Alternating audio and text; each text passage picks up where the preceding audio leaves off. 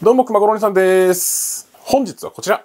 じゃんタックライフパワーツールコードレスロータリーツールモデル RTD02DC ということでね、買いました。ルーターですね。電話じゃありません。ルーターです。なんかちょっとしたプラスチックとかを切りたいとか、削りたいとか、磨きたいとか、まあ、そんなのに便利なのかなと思って買いました。4600円ぐらいで買ったかな Amazon で買いました。ちょっと前に買ったんだけどね。まだ開封してないんで、どんな製品なのか見ていきましょう。電圧 8V モデルって書いてあるから、多分、リチウムイオン電池2本でやってんじゃないかな。回転数は5000回転から3万回転まで調整可能。コレットサイズは 3.2mm。はい。充電式です。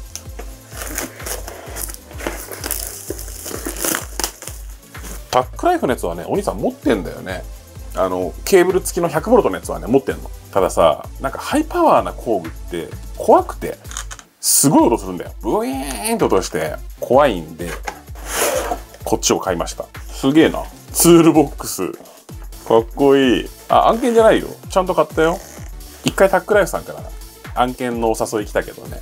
まあ、ぶっちゃけね、あの、あんま高い工具作ってないから、案件やるぐらいだったら、まあ自分で買って好き勝手言った方がいいかなっていうね。そんなんでね、案件はやらなかったんですけど。おかっちょいいぜ。ほら。へえ、壁掛けもできる。ロックボタン。交換するときですね、これ。くるくるくると。で、カバーつけたいときは、ここを回して、カバーね。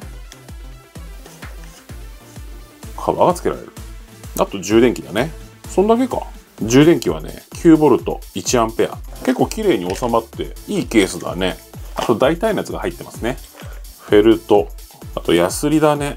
120番ぐらいのヤスリかな。あとワイヤーブラシ。サンダーみたいなやつね。砥石のやつ。あの鉄板とか削るやつだね。あとは砥石が何パターンかついてるね。砥石ツールは8本ついてるね。こんな感じ。まあ、砲弾型から丸いやつからいろいろありますね。あとバフは、まあ、よくあるやつは2つだね。これでねじ込んで使うやつね。この穴にね、入れて、くるくるくるくるっと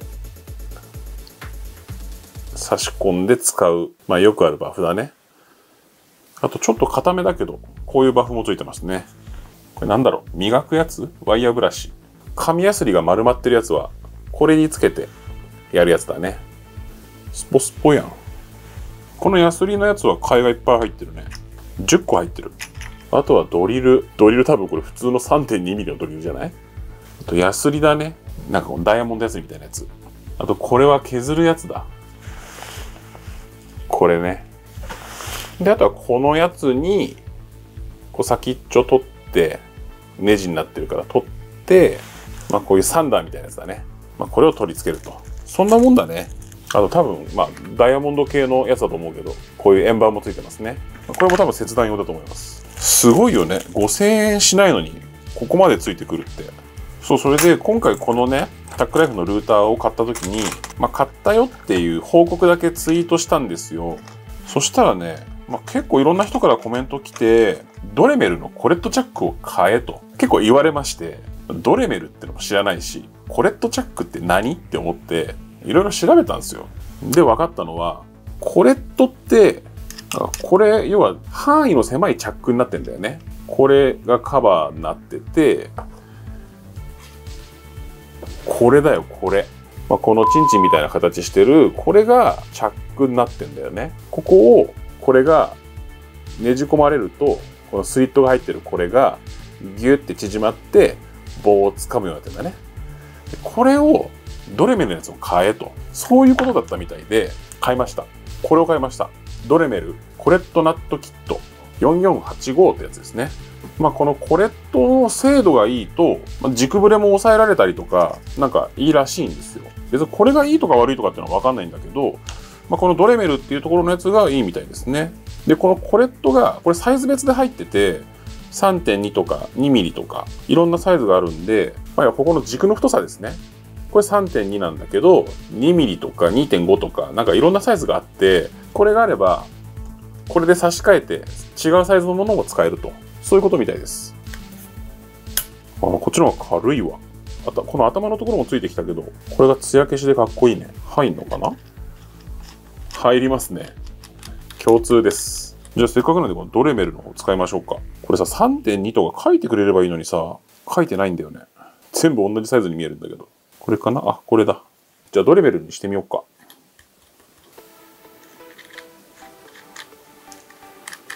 なんか別にこんな部品でね、精度うんぬんってあんまななさそうな気がするけど、5000回転だと怖くない？3万回転だとやっぱ怖いね。電源入れると必ず2万回転からスタートだね。5000まで落として、スイッチオフにして、また2万。あと材質によって回転数変えてくださいよっていうことだよね。全部推奨値は1万以上だね。プラスチックとか鉄とかだと1万5000から3万回転ぐらいが推奨されてるね。なるほど。うん、バッテリーはリチウムイオン 2000mAh。2、3時間で充電できるみたいだね。まあ、さっき見たらフル充電だったけど、一応充電しとこうか。ちょっと今回はね、削りと磨きをやってみようと思って、実験的にね。充電はケツだね。OK です。で今回ね、削るのはミンティアのケースを削ろうと思います。まだもうちょっと入ってるんで、食べちゃう。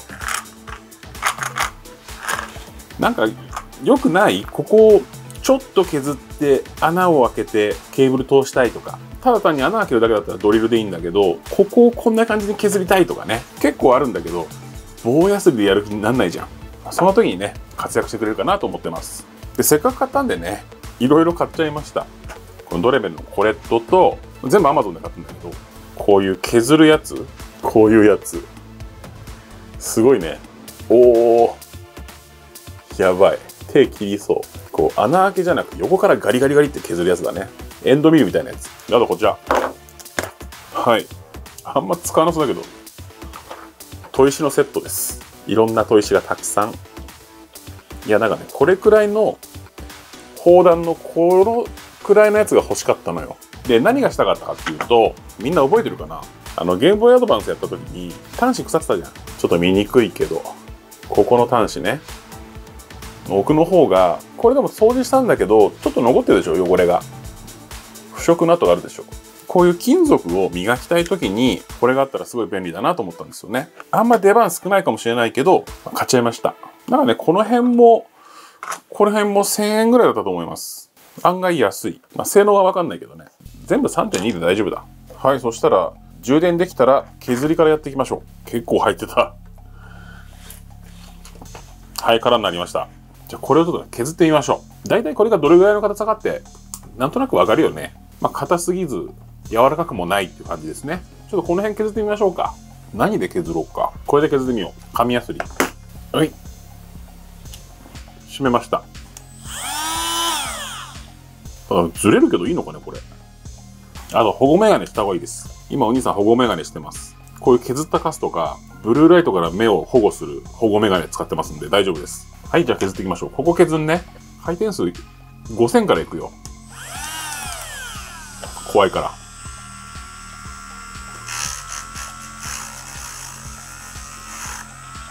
やっぱずれるよね。これどうすりゃいいのなんかやり方あんのかな？もしかしてこ入れて、ここ閉めるんじゃない？そうするとゴムがブニュってなって閉まるとか、そんな、そんなことはしないか。そんなことはしないよな。うん、なった。合ってた。じゃあもう一回削っていきます。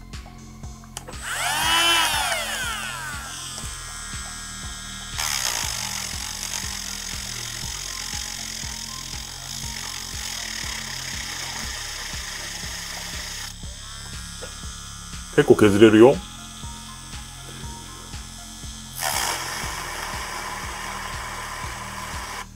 お、止まった。止まるとこうなる。結構ギュッとやったら止まった。わかるかな？今のでこんだけ削れてる。1万5000回転。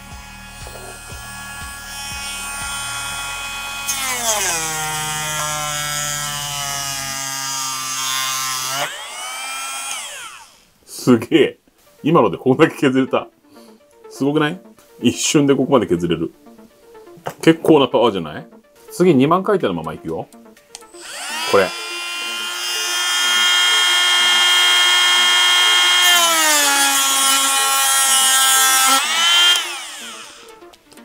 一瞬だわ。ほら。すごくない？削れました。一瞬。分かったのは、回転数一番下げると、パワーも弱くなる。この1万5000とか2万、この辺にすると、力がちゃんとある感じですね。多分この一番下の回転数、5000回転は何に使うんだろうね。力がないモードですね、本当に。遅いし。結構グーッと力かけても全然回転が弱まんないです。あとこれ使ってみようか。うん、ちょっと怖いけどね、これね。あ、あとブレに関しては全然感じないですね。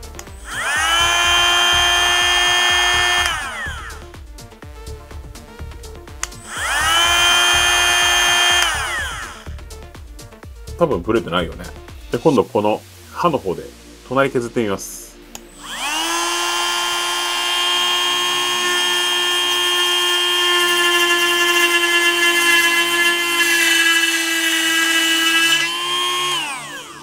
速攻です。しかもこっちあの、切ってるから、あの、溶けないですね。本当に切れてる。こっちもやってみるよ。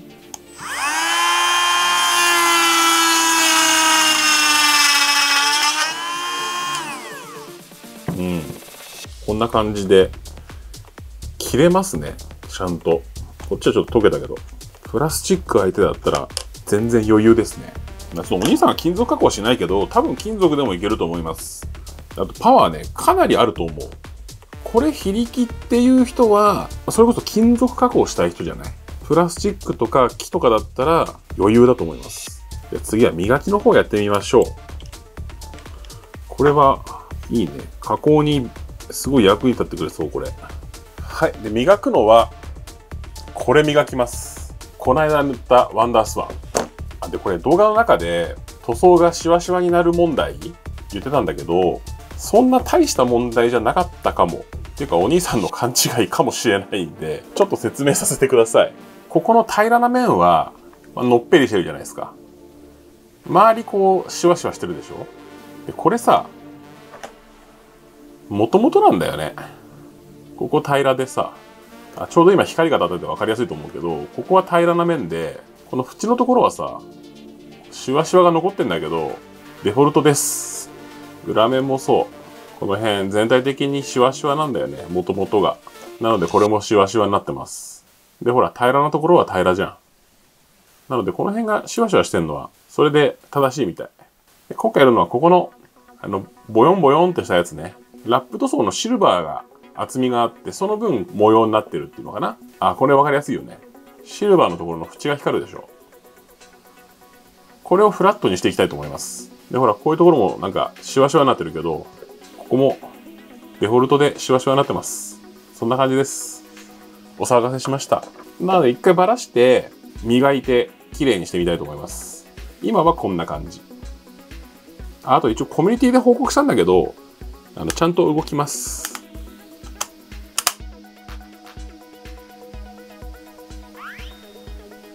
こんな感じで、ちゃんと動きます。結構綺麗だね。ただね、このゲームね、ちょっとやったんだけど、外に出れなくて、つまんないからやめました。このもう道がわかんないの嫌なんだよね、もう。この表面を磨きます。なので一回ばらしましょう。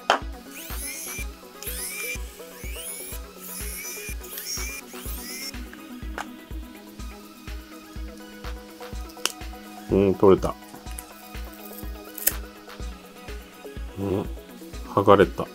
はい、分解できました。はい、これ800番のペーパーですね。ちょっとこすってみるね。うん、良さげだね。800でやってみよう。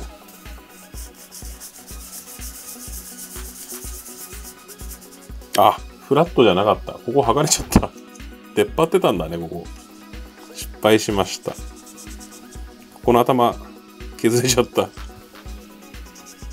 はい、こんなもんでいいですかね。ちょうどここと、この部分が艶消しになりましたね。これ使ってみよう。コンパウンド、細め、極細、超極細。これもね、Amazon で買いました。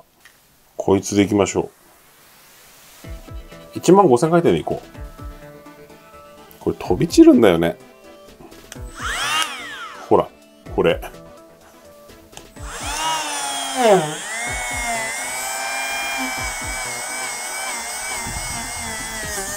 ょっと待って。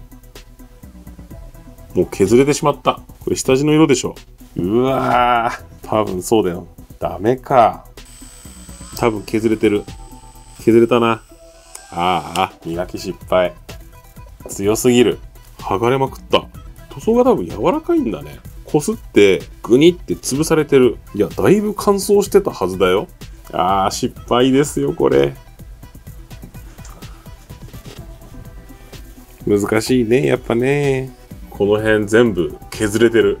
ダダダダダって。思いっきり失敗したなすごく残念です。もういいや。手でやろう。うーん、塗装磨くのは難しい。多分、用途が違うんだろうね。羊毛バフじゃなくて、スポンジのなんか柔らかいバフじゃないとダメかもしんない。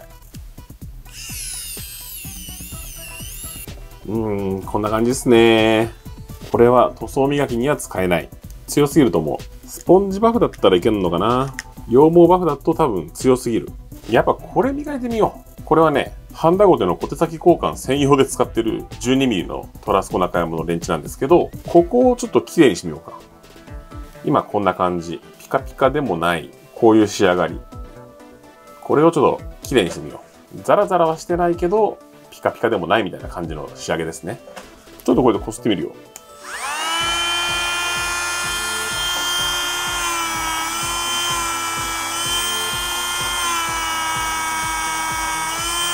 ああ、すごいね。ほら。このザラザラ仕上げは変わらないけど、すげえ綺麗になるわ。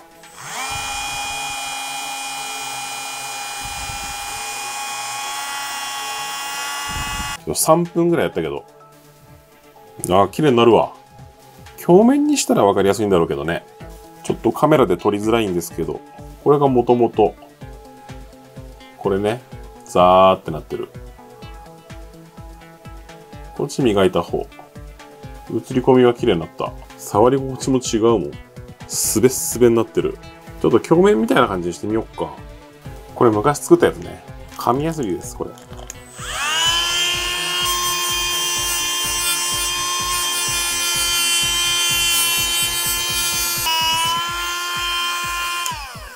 ヤスリの番手下げました。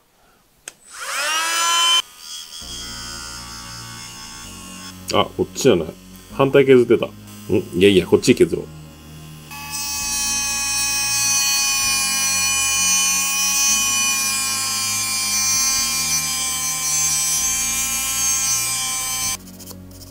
今800番。ちょっと磨けなかったところ手でやりました。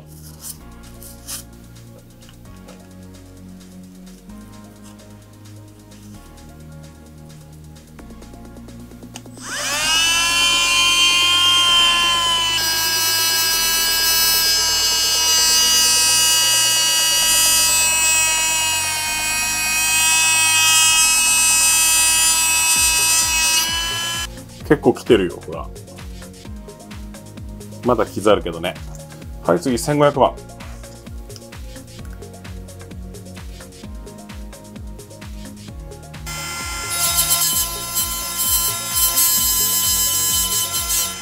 なんかもう1500番で十分ピカピカなんだけどね。すごいね。で、次2000。はい、じゃあ2000番やっていきます。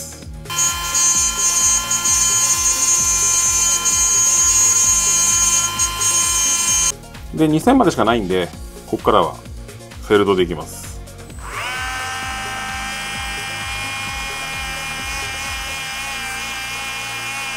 一応細めコンパウンドまでやりましたけど、まあ鏡面にはなってないけど、かなり綺麗だよ。これ反射させてみようか。こんな感じ？なんかね、この仕上げね、磨き時間10分も磨いてないです。最初の800番を多分3分、4分ぐらいやったけど、あと1分ずつぐらいで、ここまでいってますね。コンパウンドもっとやればもっと綺麗になるのかもしれない。ね、まあほぼほぼ鏡っぽくなったよね。これ楽です。で、一応800番の仕上げの時にちょっと手作業やったけど、あとは全部こいつがやってくれてるんで、全然疲れてないです。楽。はい。電池もね、ちゃんと磨けましたんで、こちらいただきます。メープルナッツパンケーキ。ミルクバター仕立て。ね、パンケーキ食べたいってことでね。パン、いや、いや、やめよう。いただきます。なんか、いろいろなビット使いたいんだったら、これ買ってもいいかもしんないね今説明書見たら 3.2mm 2.4mm、1.6mm、0.8mm で使えるらしいよ。ドレメル。4485。メイドインメキシコですね。でも冷たいパンケーキってあんま好きじゃないんだよね。これ冷たいです。冷蔵庫のスイーツコーナーに売ってるんで。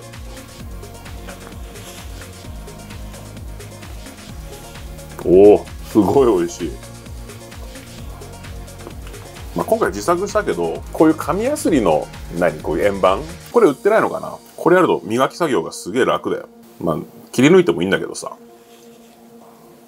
あと、バフ掛けのコンパウンド多分これだと良くないね。ちゃんと金属磨き用のやつ使った方がいいかもしれない。なかなか磨けなかった。これ生クリームが美味しい。アーモンド入ってて美味しいですね、これ。メープルナッツパンケーキ。製造者わらべや日曜。デザート工場。カロリー338キロカロリー。結構量ありますね。